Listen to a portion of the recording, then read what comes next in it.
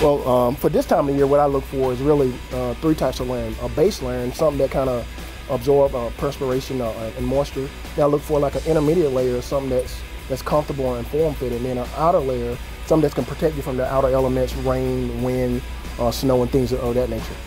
And then in the summertime, it's really just two layers. You got your form-fitting layer um, that gives you the full range of motion you need, and also the outer layer is merely a cover-up. That once you finish your workout, you can place that on and, and uh, it absorbs the sweat and everything from your from your body.